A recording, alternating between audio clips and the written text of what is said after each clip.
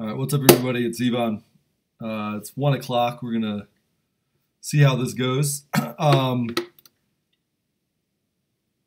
just a fair warning. I've had some weird internet things going on today at the at, at the old house, and so things might cut in and out. And I certainly apologize uh, for that in advance.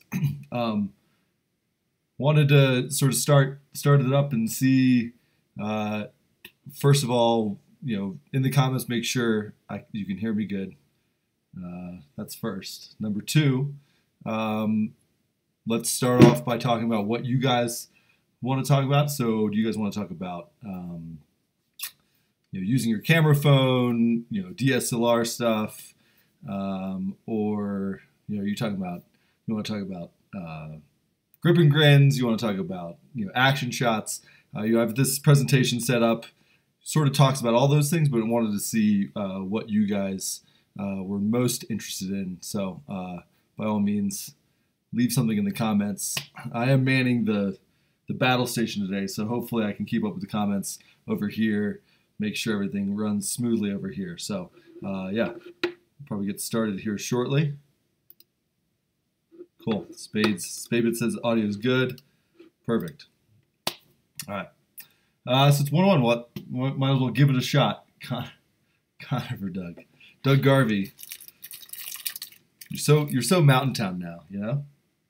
Don't don't forget us. Can't decide to just rock with a kind of hassle Canon DSLR.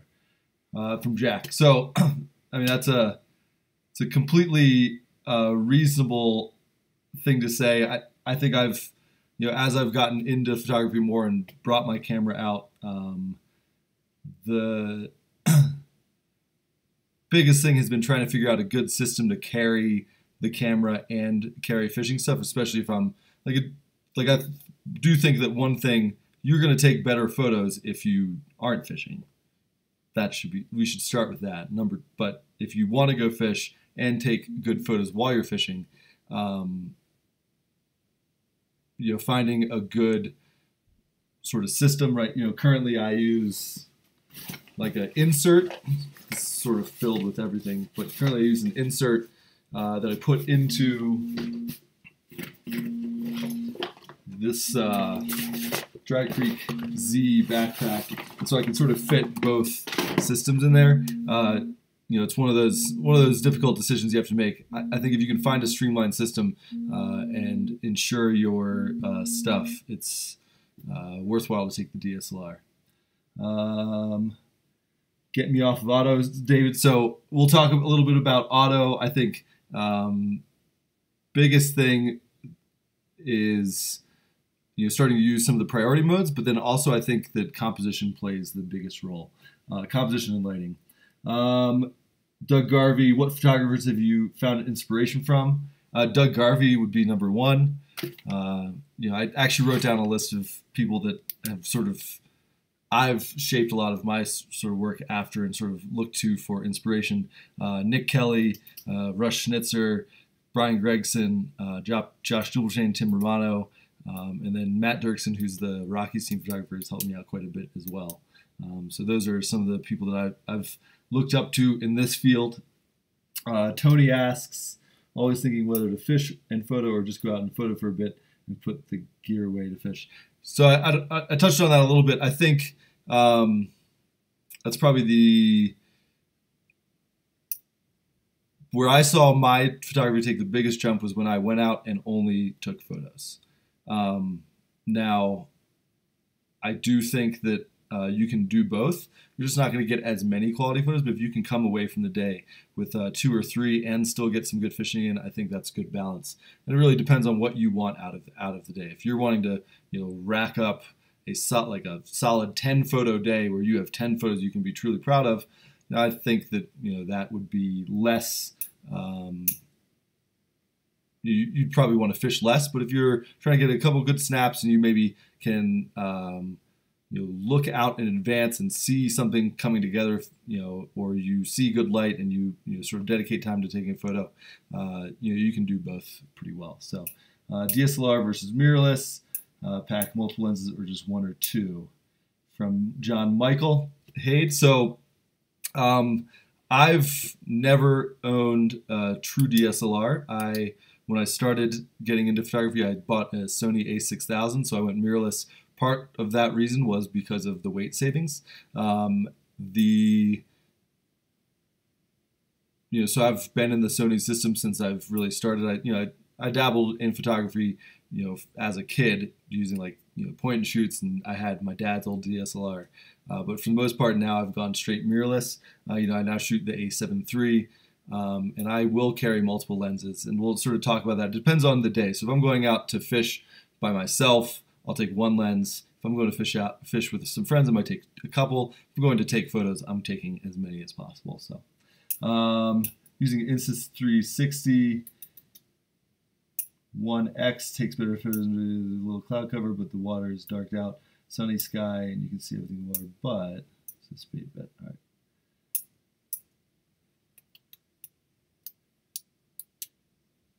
I'm not sure what you're saying, speed bet. Is there a second part to that? Uh, RS Trout says submersion or grip and grin. Uh, certainly, you know, if you can take, uh, you know, keeping the fish as wet as possible uh, is going to look the best. Uh, certainly, putting it on uh, grass, putting it on a rock, not great. Um, I do think grip and grins are, you know, perfectly great. I mean, I think they take, they capture a moment between the angler and the fish, and you can do it. And we'll talk a little bit about how I like to do it. You can do it quickly, and you can do it so that the fish is out of the water, you know, for a very minimal amount of time. And so, so I think that is an uh, interesting conversation to have. But I, I do think grip and grins are. Uh, uh, worthwhile. So we're going to get started with the presentation. Um, you know, I'll try to check over here for the comments uh, every couple slides or every slide or so. Uh, and if you guys have any questions, uh, feel free to, to drop them drop them on. I can't talk. I'm nervous. All right. so brief overview. I'm going to talk about um, some major keys, composition perspective, some nerd stuff. So getting people off of auto. Uh, on the water tips, sort of things I like to do, whether I'm fishing by myself uh, or fishing with friends, uh, and then taking hero shots, you know, getting getting those good shots for the gram. So, uh, so to start with major keys, I think one of the things, especially when I started, um, that I really got over overly tuned into was uh, I got lost in settings.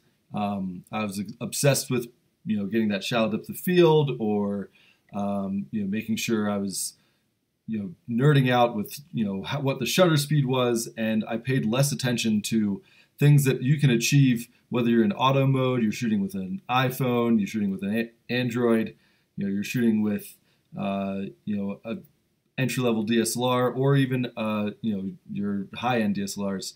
Composition and light are the most important things uh, it comes to. So I know I'm having a having a there we go.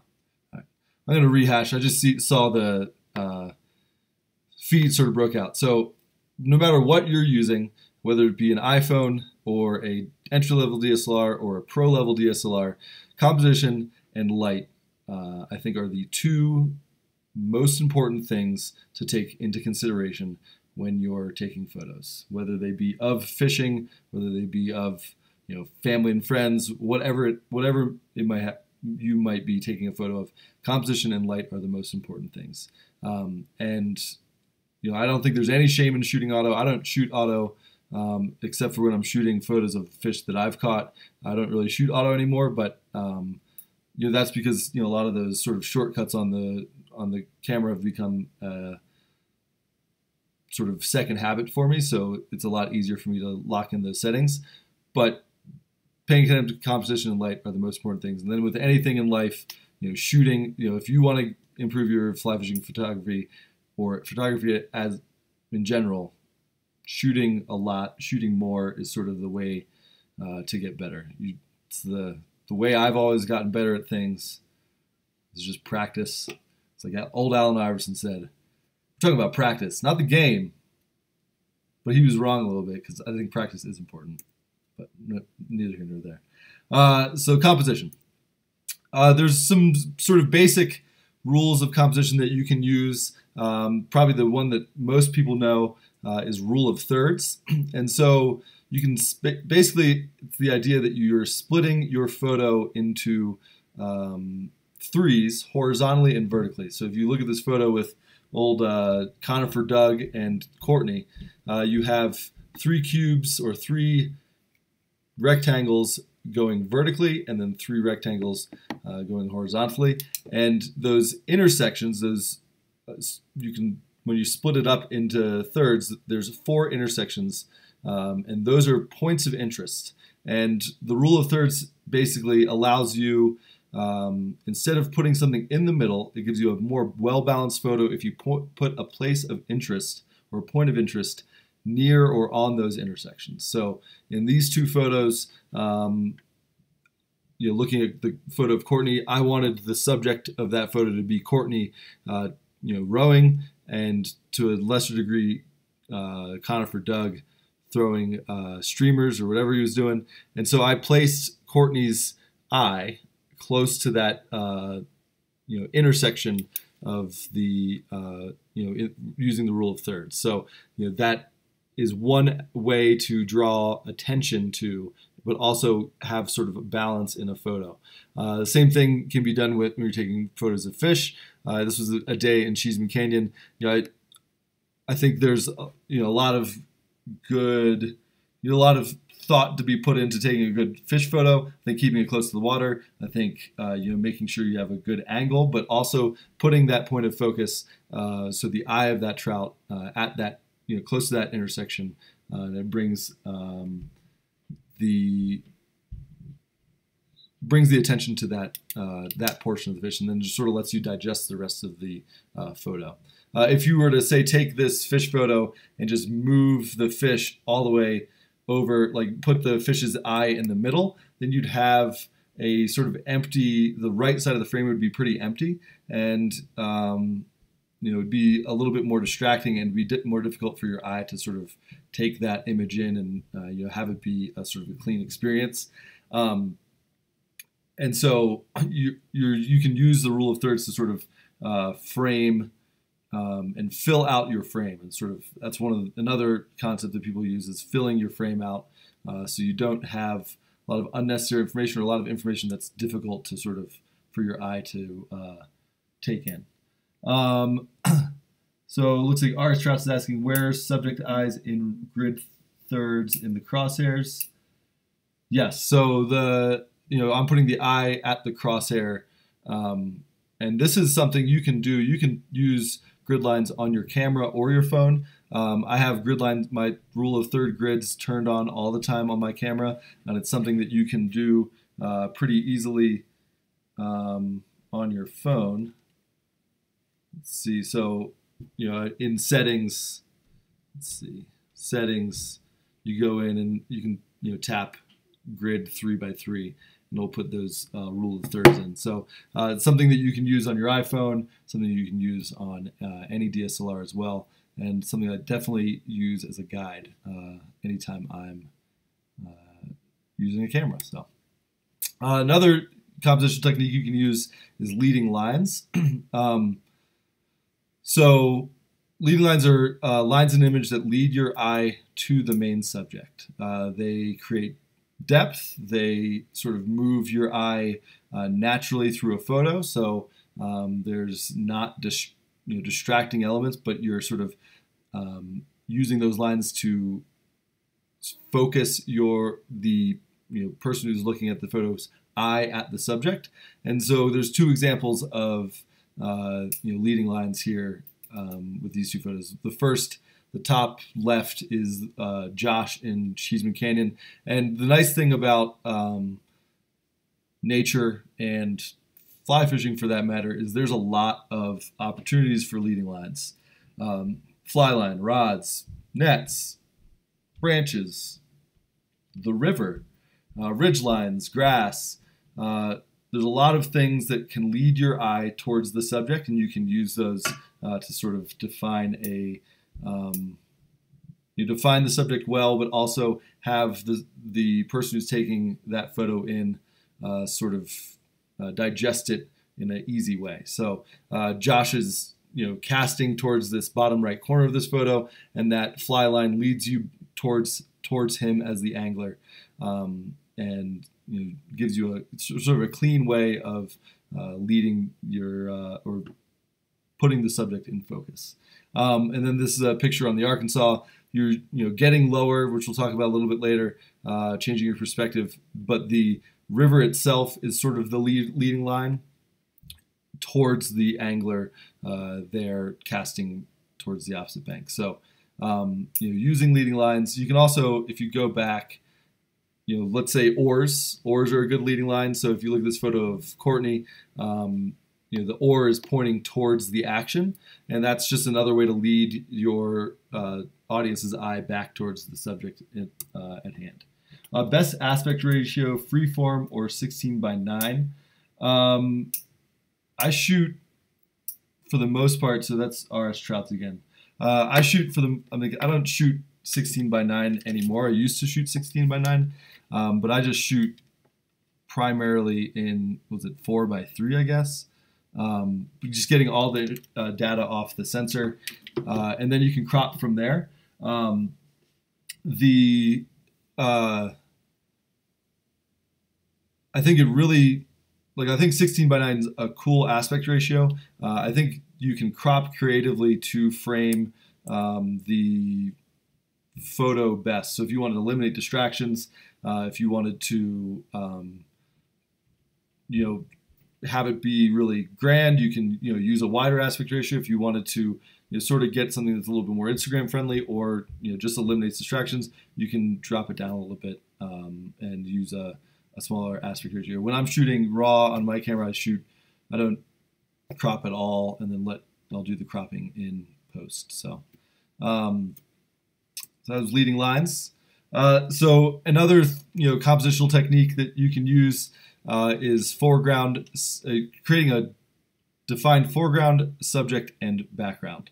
Um, so this helps to place, you know, sort of call your subject out. Uh, so here in Cheesman Canyon, uh, the top right, top left photo uh, I'm looking at is a photo I took of Scott Dixon, our head guide uh, here in Denver, and you know I'm sort of getting lower, allowing the rocks to be in the foreground, allowing the river to be in the foreground, you know, Scott's there in his damn camo waders, which are borderline impossible to uh, photograph. He's fishing, and then you have a defined background. So that gives you tells you a uh, entire story. Uh, you can see gives you context. Um, you know, places him in the scene, and then allows you to sort of understand what's going on in the scene. You know, the same thing goes with Zeke. You know, I have used the you know willow cover in the foreground to frame him in the as the subject, and then you have a background behind him, so you can sort of get some good context. Um, so foreground, subject, and background. Uh, you know, using that as a compositional technique, you sort of create depth, puts focus on the subject, and it also leads your eye towards the subject. So, oh, Max is Max created a YouTube channel. It's good to see you, Max. Thank you. Um, make sure I have all the questions. Cool. Uh, what do you guys think so far? Do you guys uh, have any questions? Um, yeah, how bad am I? St- stuttering, st- stuttering. Ugh. All right. so, uh, next thing, next compositional technique that I like to use is eliminating distractions. Uh, so you want, you know, there's a balance between having, um, you know, only you, you don't want to isolate the subject too much at times, but you can how how can I say this?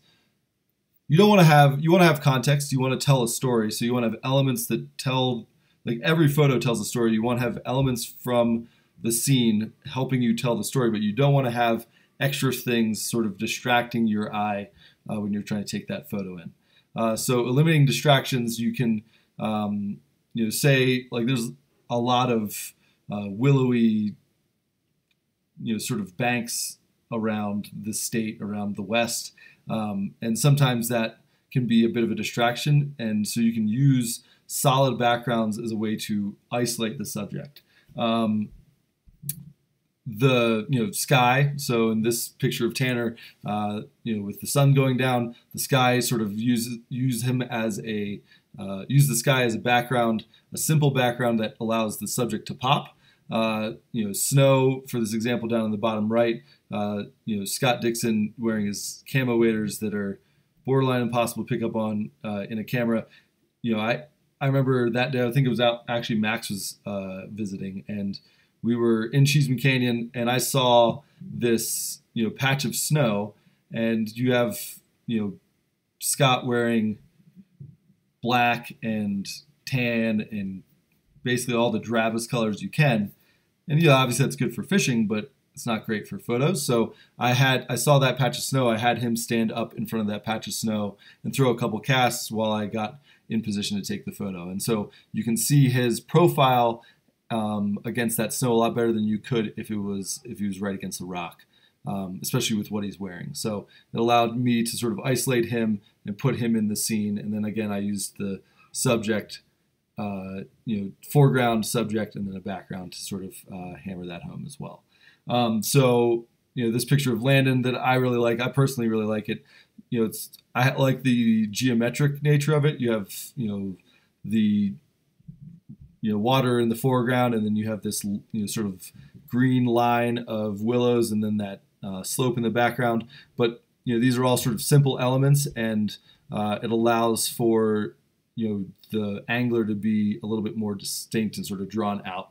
Um, a lot of times with those willowy, backdrop, willowy backdrops, uh, you know, we as anglers can sort of blend in a little bit, which is obviously is good for fishing. But um, you know, keeping the background simple uh, and eliminating distractions is a good way to sort of isolate your subject. So uh, let's see. Let's go to comments. I can keyframe, crop position, adjust aspect ratio, and look in any direction in post. Shooting up to 570 through can shoot HDR. Auto doesn't always cut it.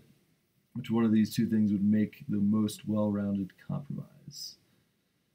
RS Okay, so we'll, we'll talk a little bit about that stuff Spadebit here shortly.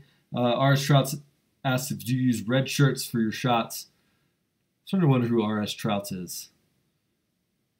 Uh, yes, so uh, like you can use uh, you can use um, like I'll ask certain people to like if we're going out to shoot, like I'll ask them to maybe wear some a color that you would pop a little bit more. Uh, but I mean, it's whatever they feel best in. Um, so definitely you can use colors to help the uh, angler pop or the subject pop. Um, RS Trouts, who are you? What's up, Luke? My sister's. What's up, sister? Hi. Franco Fontana. Nice uh, perspective. So um, one of the things I see a lot of people do when they're first starting out, and something that I certainly did, is uh, when I go to take a photo, I will, uh, like I, you know, say with my camera or my phone, I would just stand as I normally would stand and take the photo. Maybe tilt my camera, you know, down, maybe tilt my camera up, and you sort of lose a lot of context there. So uh, you can achieve a lot of those sort of things we talked about with composition uh, by changing the level of your camera or your eye, so to say. Uh, so by getting lower or higher. Um, and that getting lower or higher can uh, isolate the subject and create a little bit more interesting composition. This is a picture of Dennis on the Dream. And so in this instance, I got lower. It allowed me to capture uh, a bit of his reflection, but then also put him as the angler sort of in the rule of thirds. And then um, you have these foreground elements and a you know sort of the background element. So you have all these things working together to sort of draw your eye towards the subject, and then allows you to sort of take that photo in um, and sort of digest it uh, after the fact. So like the way I've sort of learned is that you want elements in the photo to draw your eye to the subject, and then but you also want the person looking at the photo to uh, sort of digest everything, digest the whole story. And I think I've probably rambled on about this a couple times, but uh, in this instance, you know, it's a winter day. You know, I'm trying to get winter things in the, you know, in this frame, and so trying to get the ice in the frame, trying to get this clear blue sky. You know, the, you know, all these elements that sort of tell the story about the day.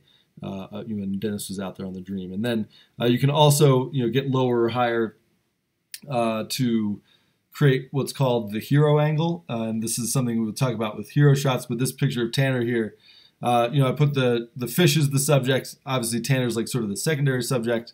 Um, you know, the fish's eye is at you know sort of intersection of the rule of thirds, and then you know we filled the frame quite a bit. You still get some context. There's some snow, uh, but we're lower than he is, and then actually they talk about it in like all the Marvel and DC movies, like the hero angle, where they they generally show the hero for the most part. They show the camera is pointing up at them, and so you can do the same thing, um, you know, with you know a hero shot. A hero shot. The idea is like, hey, look at. I mean, let's break it down to what it is. Look at me. Look at this fish I caught, and you're trying to pump that person up, and so you get a little bit lower uh, to create um, sort of that idea that you this is like this huge moment. This like I'm great or this person's great. Tanner will tell you I'm great. Look at this fish. It's great. Everything's great. Um, so you can you know bend your knees, crouch down, or my least favorite thing to do is hike up and down. Um, but you can do that as well in the landscape. Uh, say hike up in, if you're in Cheesman, hike up and then shoot down to give you a little bit a little bit different perspective than what you would normally see. Uh, so it does take obviously a little bit of effort, but um, the you know extra effort can pay off uh, with creating a unique sort of perspective, one that you normally wouldn't see when you're on the river just looking and taking stuff in.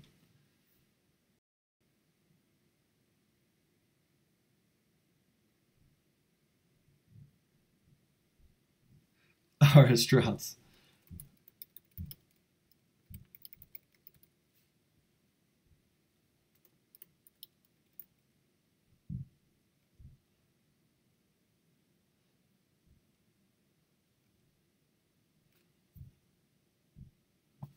RS Trouts is uh, in the cut, low key.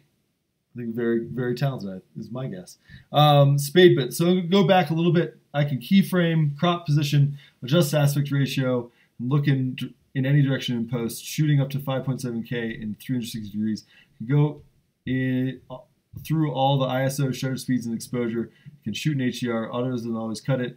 And which one or two things would you make the most well would make the most well wanted compromise. So uh, Spadebit's talking about the Insta360s. I actually haven't used those a lot. I've been considering picking one up because I do think it offers an interesting perspective.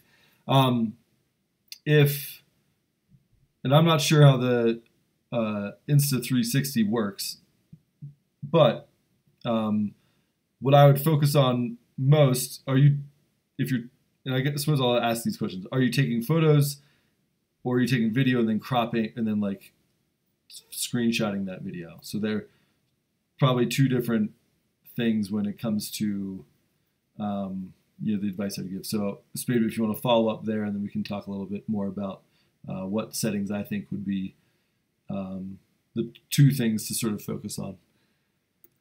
All right, nerd stuff. So, so, so let's start off uh, RAW versus JPEG. If you're shooting on a DSLR, even if you're shooting on a camera, uh, if you have the opportunity to shoot RAW, shoot RAW. Uh, this is a picture of Cody up in Wyoming. Um, I actually really like these kind of days where uh, you have super, super overcast days, but you still obviously, like in the middle of the day, there's the sun's at its highest point, still trying to shoot as much light through those clouds and you get this really uh, flat. You take these really these photos that look really flat uh, in camera, and then in post you can uh, actually have a lot more um, flexibility, and you can really make things pop without losing some of the detail and losing color, sort of the consistency of color. Sometimes in you know more direct light, you uh, you can edit stuff and make the exposure look right, but then the photo the uh, colors sort of change a little bit and they get altered. And I think, you know, having being able to take raw uh, is sort of the way to go uh, if you're taking photos at all with any camera, uh, just because it allows you a little bit more wiggle room in post. Um, I don't have my work computer set up for this, but if I did, I would pull up like the original and the and that one, and I think you can see how much more you can do in post. Um, you know, some people poo-poo like over editing. I think um, you know, people have always edited photos uh, you know, it depends on how much effort you want to put, it, put into it, but you can certainly shoot to edit um, as opposed to edit after the fact. So you can, you know, change your settings because you know this is what the light condition is and what you want to get out of the photo. And I think you know shooting to with the idea of what edit you want to do is uh, definitely something that I still do quite a bit.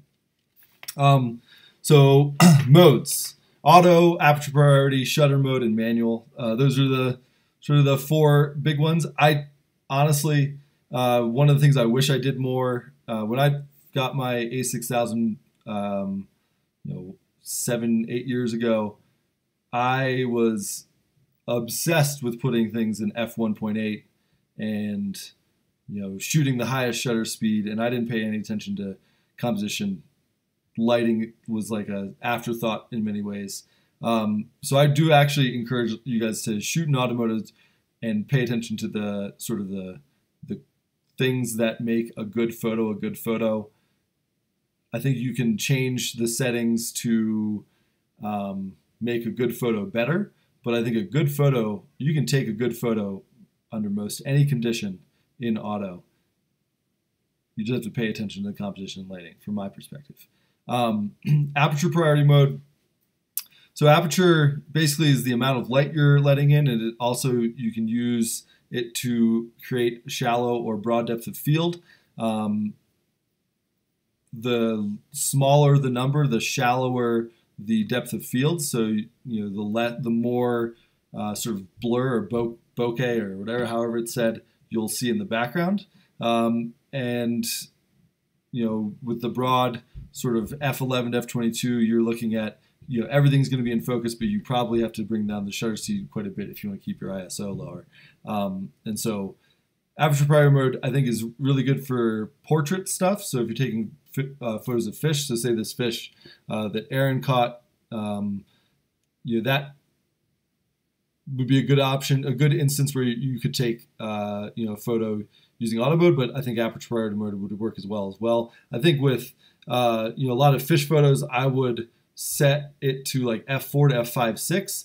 I think if you get too low, if you go down, like I think to 2.8 and 1.8 and, you know, 1.4 if you can, you end up sort of losing a lot of the detail that makes a fish pretty cool. I think there are certainly op- opportunities to, um, you know, shoot, uh, you know, super shallow depth of field with fish. But uh, I do think if you're taking a photo like that, you want to use like f4, f5, 6, maybe f8, um, so you get a little bit more uh, detail in the fish, but you know the focus is sort of on that, you know, the head of the fish. I think you know, sometimes uh, depth of field can be overdone. But you know, if you want to take a landscape and you had a tripod, you know, you're in aperture priority mode. You're only controlling the aperture. You know, bringing that aperture up f8, f11, uh, f16, f22 if you can, uh, and that can take a really good uh, landscape because everything's going to be in focus, um, and you're going to get more detail out of everything.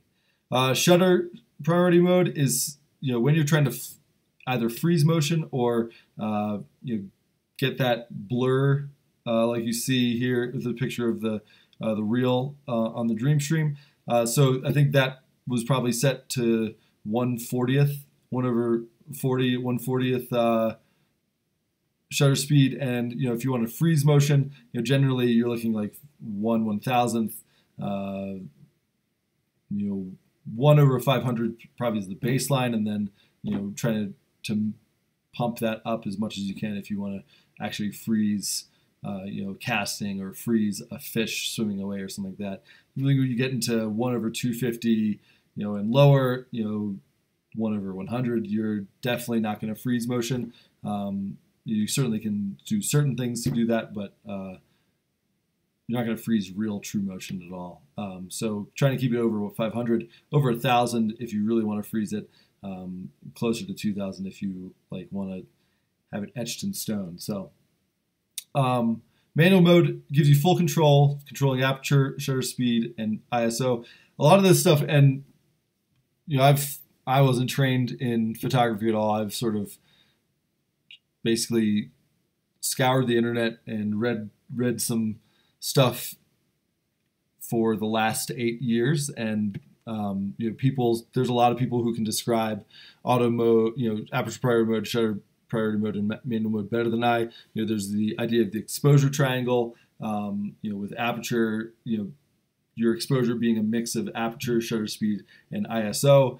Uh, you know, I would recommend you guys checking out um, you know, some stuff on YouTube or you know, searching the Google for you know a little bit more in-depth conversation there. I do think um, you know having a good understanding of that stuff, especially when, when you're getting into manual mode, but even if you're using aperture priority mode or shutter priority mode, uh, is beneficial. So uh, understanding how those all those things play together. Um, I'll probably I'll put some links in the description after the uh, presentation's over and uh, get you a get you a good resource there. But uh, you know, let's say this photo of uh, on the top left of Conrad, you know, that's an instance where manual mode is the preferred mode. Uh, anytime you have a back, you know, you have something that's backlit. Uh, you know, I, I, wanted detail from Conrad to show. I wanted to have sort of a glow around him with the sun, and so I was able to dial in. And I probably shot, I don't know, 50, 50 photos of him fishing there, uh, and just you know looking, reviewing, you know, dialing, you know, maybe pumping up the shutter speed, dropping the aperture down so you know open up and let, let more light in, uh, and just sort of tinkering until I found the right balance there. Um, you know, this example of this picture here of Josh in the bottom left in in Cheesman Canyon. That's a great example of auto mode. You know, I think auto mode can be um, you capture most photos uh, that you're trying to take out there on the water. Um, and you know, in that instance, you know, you're freezing motion to a degree. You know, he's not actively casting, um, so you don't have to make a ton of choices. But auto mode would capture that photo really well. So um, I think one of like from my for me, especially when I'm when I first started out, I think I'm going to harp on this uh, a little bit more. But um, you know, composition, light, those are more important than anything that you do. And, and I think you can sort of add cherries on top by, you know, learning techniques, you know, whether it be figuring out what shutter speed will blur motion versus freezing motion and, you know, figuring out what aperture is best for creating the depth of field you want. Um, but, you know, I think the basis of a good photo is composition and light. So.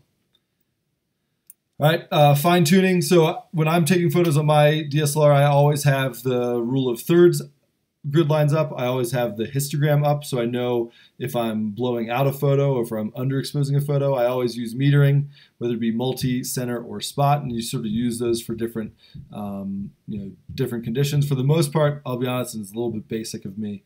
Uh, I end up using multi or center quite a bit.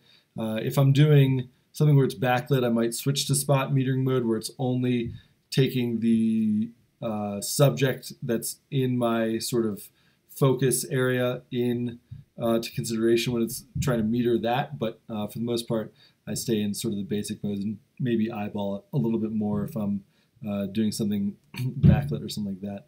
Uh, histogram. So this is grabbed from um, from the uh, internet, but it's light. It's basically Lightroom. So you can see it in the bottom left or bottom right corner of the screen uh, above on my camera. This is sort of a what you'd see when you're editing, uh, and basically breaks your, your, photo into the blacks, shadows, midtones, highlights, and whites. And you know you can see in this instance that the what on the camera above the whites are there's a lot of whites. The whites are clipping, uh, and if I wanted to bring the exposure down a little bit, even though you know, it's showing, you know, metering is showing it's a balanced photo. I could do that in manual mode, maybe, you know, bring up the uh, shutter speed a little bit.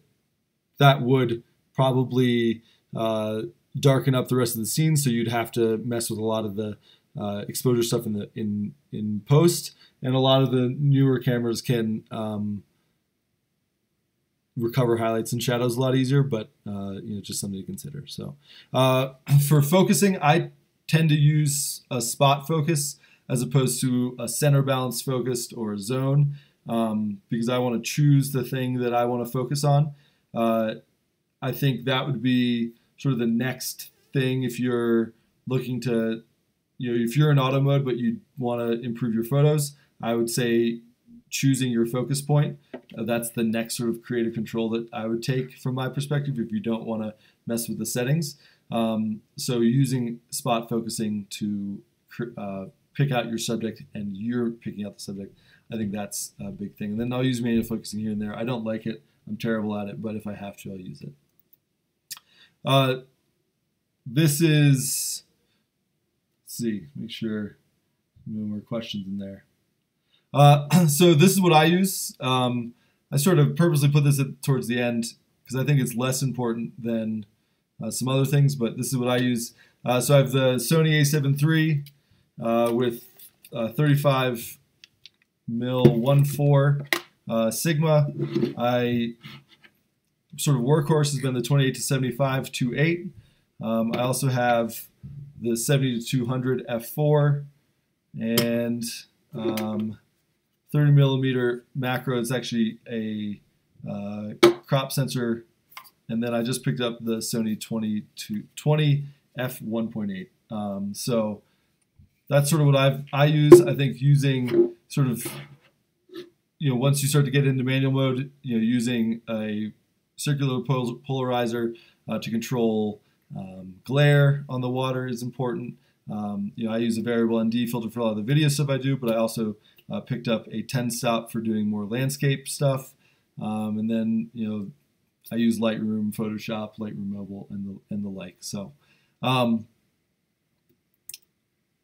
I think good places to start. So entry level, this is what I started off with was the Sony 6000, Sony A6000. I started off with a 35 mil 1.8, and that was equivalent to a 50 mil. I think starting off with an inexpensive prime is probably the way to go. Um, I was I, I sort of came up under uh, Russ Schnitzer, who gave me a lot of guidance in the beginning, and he was very adamant that uh, I start with a fixed prime lens. Uh, not only gives you a little bit more flexibility with being able to let in more light because it's uh, instead of having a variable aperture, it has a fixed 1.8 aperture, not fixed 1.8 aperture, but it can go uh, as op wide open as 1.8, and I think it was all the way up to f22. Um, so the idea with having a inexpensive prime lens as opposed to a zoom lens is that you are learning what that focal length does and what you can do with that focal length. Obviously, with a 70 to 200, there's the you can achieve reach, so you can get things that are maybe farther away. You can get a good photo of them, but there's also the aspect of like at 200, if I take a photo of a fish at 200, the background will be super super blurry. But if I take a photo at 35 with a 35 millimeter, um, you know, it's not going to be as blurry. And so, figuring out how you know what a certain focal length does and becoming a master of that focal length, I think is uh, a really good way to start. Uh, sometimes you can get lazy when you have a zoom lens, and I'm certainly I certainly fall into that that uh, category when I have a zoom lens, and you can changing, you're being lazy and not moving your feet, and sometimes uh, you're not getting as quality of a photo as if you moved your feet and framed it appropriately with a uh, with a prime lens. So Spadebit, bit uh, so slowing down the shutter speed will generally increase the darkness, while increasing the shutter speed will brighten and whiten the photo. Yes, so the like one over 50 is going to allow more light in than one over 200 or one over 100. 1 over 50 isn't going to freeze motion. 1 over 1000 will freeze motion.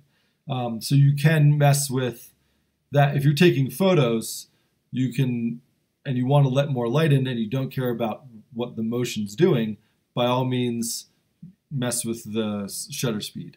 If you want to let more light in, but freeze motion or um, create, you know, what you know, freeze motion or sort of make motion blur, then you know shutter speed is the thing to control. If you just want to let more light in, aperture is the way to do that. Um, so you know, putting your aperture wide open uh, will let more light in. It will decrease the focal plane, so um, you won't have as much um, to focus, you know, of to be in not as much will be in focus, but um, it's certainly something you can do if you want to let more light in.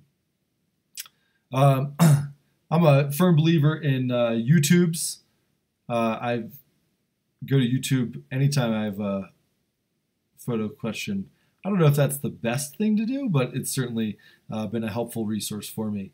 Uh, there's certainly a lot of you know books that you can you know, sort of read as you're getting into it, but um, I, I always used YouTube, and I always like, for the most part, uh, you know, Doug asked me, you know, what photographers sort of I look to. I, especially when I started was starting off, I wanted to recreate things that I saw, and so I would try to figure out, problem solve what they did, like reverse engineer what they did to try to figure out what I could do uh, when put in that situation. So I think using other people's work as inspiration to figure out the thing you're trying to achieve, I think that's uh, you know really was a, an effective way for me to learn. So Davis James, fist pumps and cameras, man. Yeah, fist pumps, cameras, and cookies. Um, all right, so this is on on the water tips. So if you're fishing by yourself and you're wanting to take uh, better photos of your fish, um, I think number one, get a big deep bag. Get a big deep deep net that you can keep a fish in that will allow him to be happy, breathing oxygen, like in a good place. Uh, so I have the rising net. I put it, you know, have a huge deep bag in it. Allows me to, if I'm fishing by myself and I want to get my camera out, allows me to sort of twist the top and sort of close off the top and let them sit in the water, you know, facing upstream, letting the oxygen run through their, you know, the, you know good, you know, oxygen-rich water, you know, run through their gills and keep them healthy, safe, happy, and all that stuff. Um, and so it lets me get my everything set, lets me get my camera. You know, I'll probably put it in auto mode if I'm just taking photos of my know, my own fish, um, and you know, lets me sort of get set and gives me time to prep. Um, so the top two photos are photos that I took of fish that I caught, and you know I was spraying and praying. Uh, you know I think that's another thing that you know I'll talk about in a little bit. Uh, spraying and praying is perfectly acceptable, especially when taking photos um, of your own own own fish. Um, also, fish look better when wet and near water. Uh, so a, you know a net allows you to do that. Um, pretty effectively, obviously. Uh, you know, I think you see a lot of people taking photos of fish on rocks and grass. That's going to mess up with mess with their uh, their protective coating, and um, I don't think fish look as good when they're sort of not near or in the thing that they uh, naturally like being in. So, yeah, keep them wet, Davis. Um, So in you know in this instance, the top two photos I was I took on sort of the wide angle. Uh, I think I had a 14 millimeter Rokinon f2.8 super wide angle, and that sort of allowed me to sort of position the fish and then take a couple shots, spray and pray style. Um, you know, sort of you know doing things a little bit weirder. Uh, you can also do that with your phone.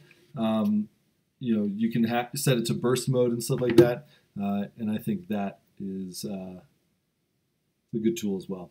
Um, also, when you have a net, it sort of frames the the subject as well, gives you uh, sort of uh, good context about what's happening. So, uh, burst mode. So this isn't the old days. Um, I know some people don't love the fact that we can spray and pray these days, but uh, I am a firm believer that um, you should use all the benefits of digital photography to your advantage.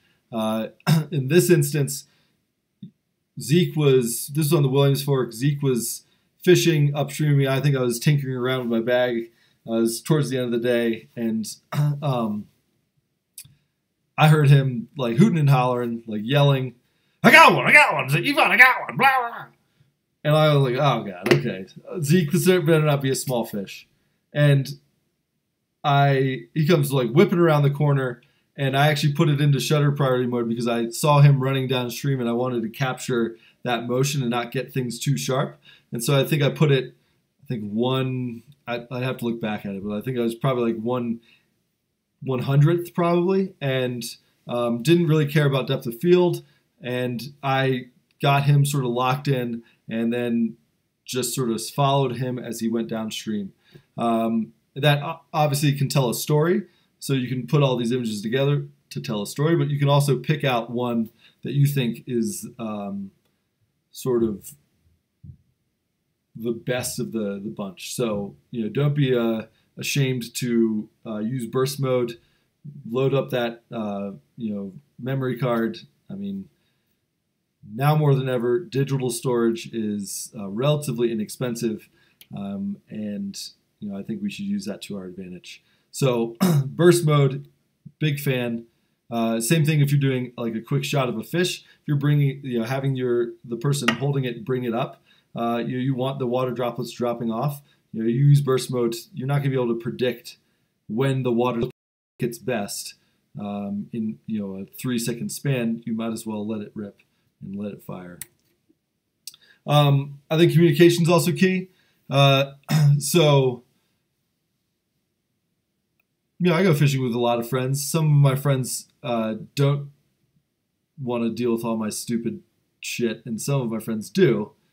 Uh, I think if you have an idea, communicate that idea to your friend. Don't be afraid um, to let you know give someone like if you have an idea, don't let like being scared of it be the reason you don't get that photo. So you know up here uh, this was in Belize. I told my friend Chuck to. They got it was raining. It was like the skies opened up, uh, thunder, lightning. It was terrible. And it was like our first day. It was like not the best omen for the rest of the trip, but I thought it was. I mean, it was it was a moment. It was a moment that sort of described that trip. And so I had like I told him I was like, hey man, just go stand underneath. And I just kept on adjusting him left and right to, until he was like sort of framed well underneath that uh, that that roof, and it gave sort of context to what was happening. You know, he's super bummed out that it's uh, raining, and uh, you, know, you get a little bit more context, and being able to tell him what to do uh, was certainly good. So having a friend that's willing to uh, go along with your stupid ideas is always a positive. Um, also, you're going to take a ton of bad photos. I always take bad photos. I will continue to take bad photos. Um, bad photos are a part of the process. Don't be afraid of them. Uh, you know, for this one, I was in Florida visiting uh, family, and my friend Kyle and I went out and fished uh, snook uh, uh, under the dock lights. And we didn't turn on our headlamps for the entire night, but I thought, oh, this might be a pretty good photo. And uh, you know, exposed for the fish, kept everything dark, and just sort of gave this weird, this weird look. It's not your typical thing like as opposed to getting a super grainy photo with his face and you know the fish would look blown out. Like I figured, let's try something different, and he was willing to try it. So uh, don't be afraid to communicate. Um, and if you find the photo that you want to take and you need somebody to be in it, like tell them, tell them to be in it. I spent a lot of years being afraid to tell people to be in things, and uh, I don't know why. Just do it. Uh, hero shots. All right. So, sort of uh, the I guess this is the the thing that probably most of you guys might be the most interested in. I'm not sure. Um, so this is tips for the hero, uh, and you'll see you know these are pretty similar for both the hero and the photographer. But uh, take take a moment. So using your net, keep that fish happy, keep that fish wet, keep him breathing. Uh, you know, figure out like flip them, figure out which side is the better side. You know, I don't want to sound shallow, but there's certain sides like I I don't know if my right left side is the better side, but one of them is the better side. So figure out which side's the better side. Um, get into position. You know, get your settings set. Uh, oh, sorry, this is for the the hero, the hero, not the photographer. So have them get into position. So if you're the photographer, um, you know, tell them where you want them to be, how you want them to hold it, um, and as the person who caught the fish, you know, sort of tell tell your photographer how you want to hold it or how you feel most comfortable holding it and let them adjust to that. Um, keep it wet. Keep it, you know, sit, get your grip set under the wa- underwater. Support and don't squeeze. I think if you squeeze, that fish is gonna, uh, you know, sort of. I'm drawing a blank. If you squeeze the fish, it's gonna flop all around. Um, and I'm not very good at this, but hide your fingers. So sort of bring your, you know, your fingers back. So instead of you know letting your fingers be out in front of the fish, sort of uh, interrupting, you know, the canvas that is this, you know, their good side. You know, keep your fingers back. Maybe put the two you know, fingers behind the, uh, you know, on on the backside. You know, try to support that fish. Uh, and I think angle is also important. Um, you know, you'll notice that you know Tanner here. Tanner's pretty good at taking photos with big fish that he catches, and he does happen to catch a lot of big fish. But he also has a good tilt to it, so you have a little bit of dimensionality, you know, a little bit of depth created, and you put the subject sort of closer to the um, to the camera, and you know you're not long arming per se, but you're just giving a little bit more depth, and he's obviously very uh, adept at that. Same you know same thing with Courtney and Landon. You know they've sort of found the hold that works best for them. Um, and you know, I think generally, if you bring the fish up, let the sort of water drip down off of it, put the fish down down back in the, into the water. You can either have the person who took the photos review those photos, or you can just say, "Hey, let it rip," and uh, let it back and send it back. I'm really good at this uh, second last step, making stupid faces. Um, I'm actually pretty pretty bad at making faces, so. I'm getting a, a note that uh, not enough video to maintain smooth streaming. Are you guys get? Is it still good out there? You still good? All right. Hopefully, looks good here. All right. Uh, for the photographer, so same thing. Take a moment, determine what you want the background to be, what you uh, where the better light is. Um, so you know, generally you want to have the light sort of clean flush on one side or completely uh, not in the picture at all. Like not playing a role at all. So um, you know, determine light and background, get your settings locked in, talk about, you know, communicate with your uh, the person who has who's holding the fish um, or is going to hold the fish about how they're going to hold it.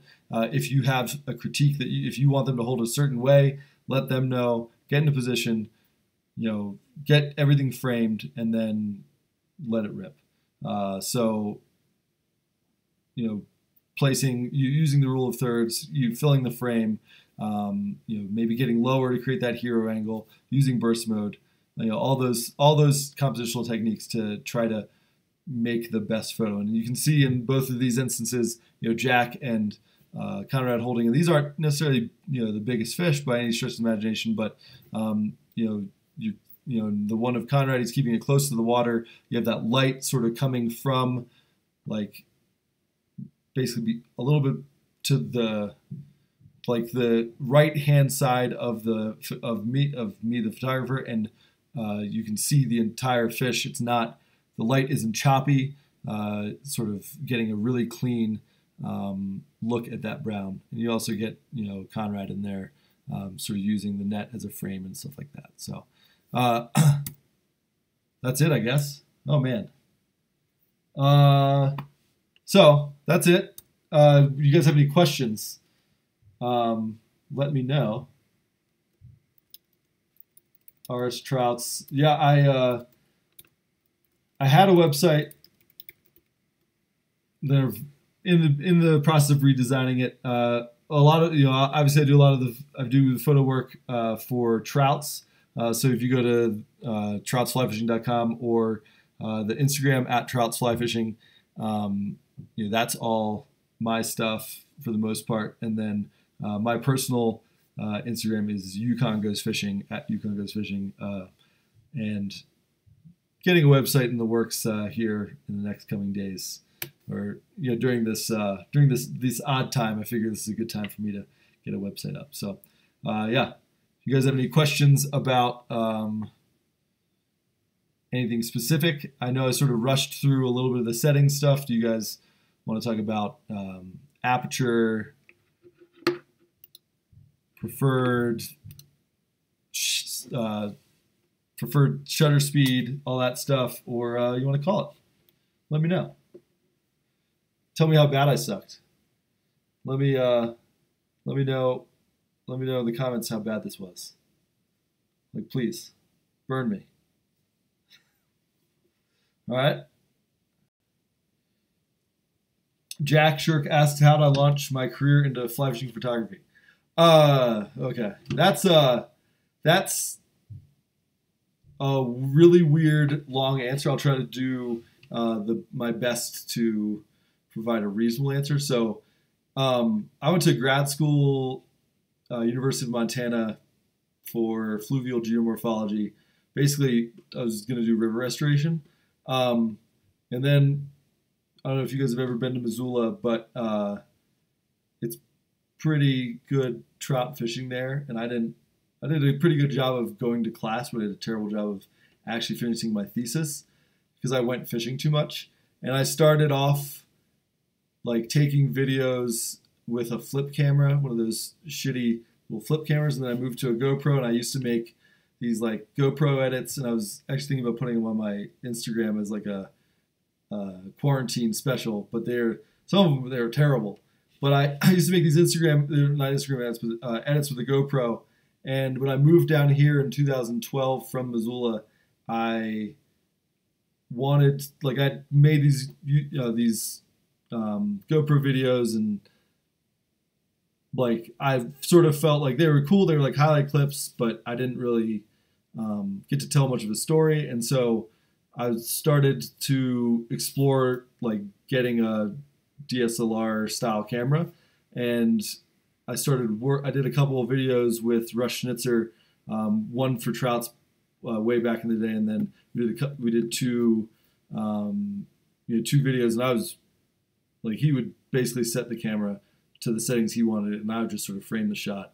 I was not very good at it, and but it was that was sort of when I started to get more interested in the technical side, and I started, you know, I did videos, you know, with a bunch of my friends, and um, started, you know, you know, Tanner and I became good friends. We were hanging out, and I was taking video and stuff like that, um, putting that on Vimeo. It was getting some, you know, pretty decent views, um, and that all just sort of.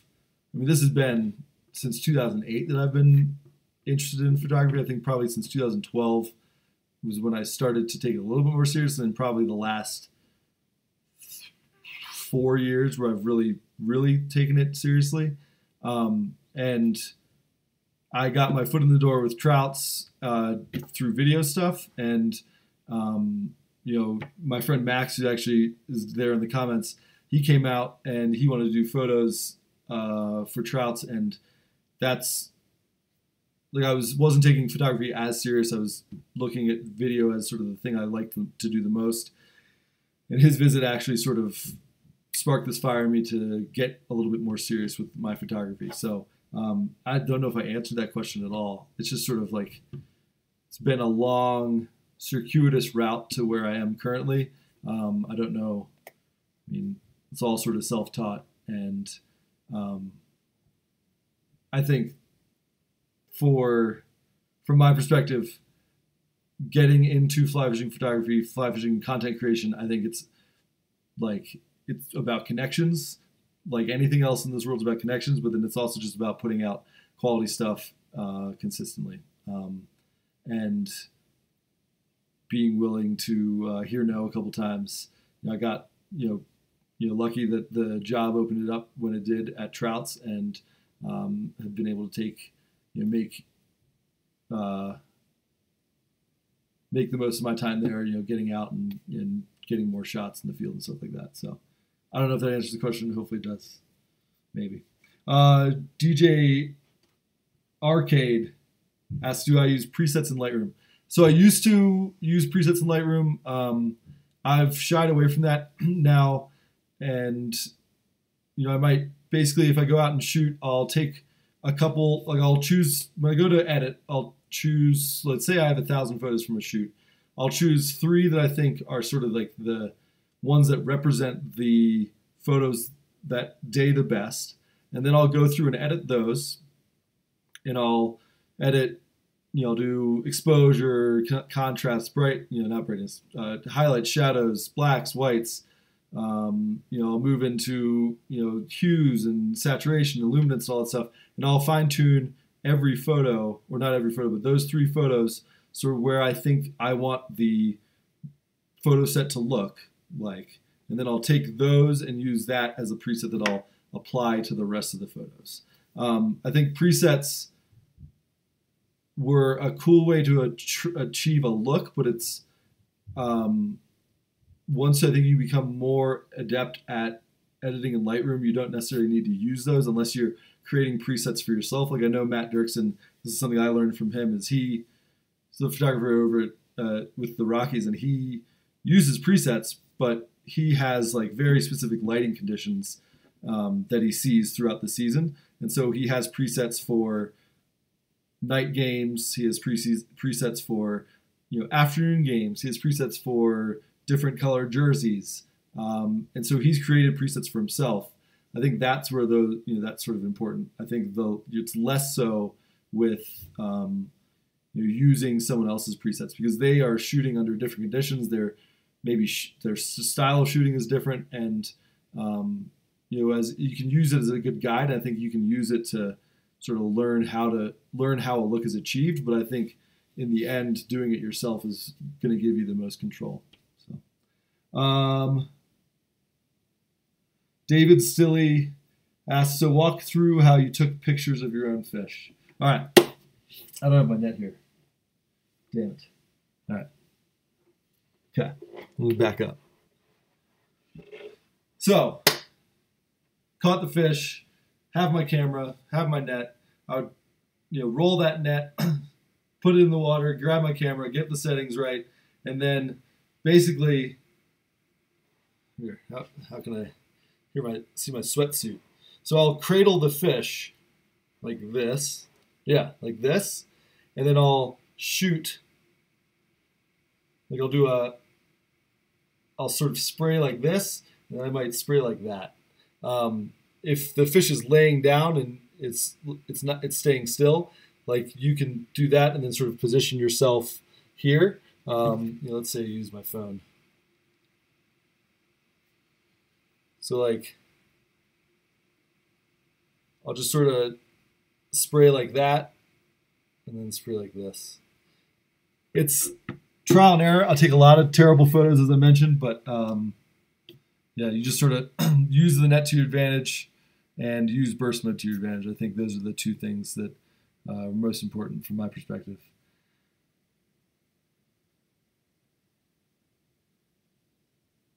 Can you touch on white balance? I know early on I was so, focused on shutter speed, aperture, ISO. I was confused why my photos kept on coming out cold blue or super warm and totally orange. That's from Max. Um, so one of the benefits I think for, to shooting raw is that uh, white balance is something you can adjust really well in post.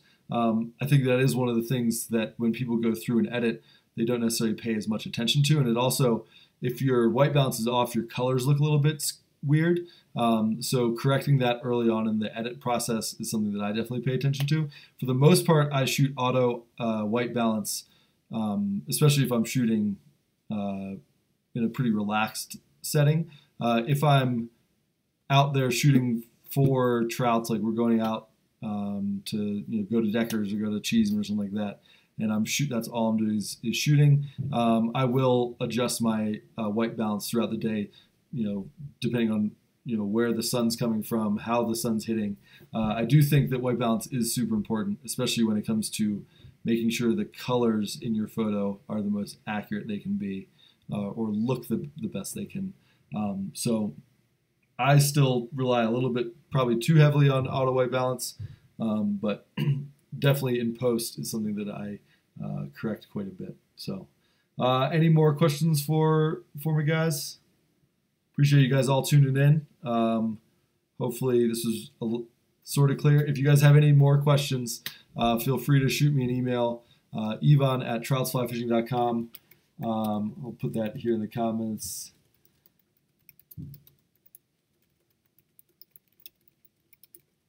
Um, I try to get back to you know those emails as much as possible. Uh, you know, I think, um,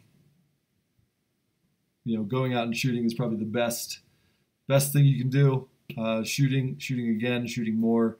Uh, that's going to be the way. That's the way I've I've improved over time, uh, and um, that, and then comparing my my stuff to things I want to, you know, looks I want to achieve. So uh, certainly appreciate you guys tuning in.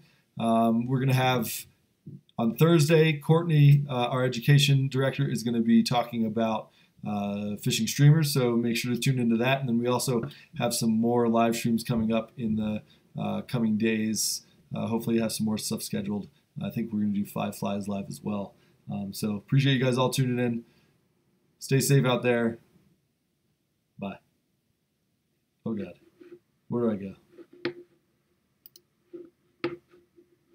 Not quite yet. Bye. Gotta do all this backhand stuff. Golly. See you guys.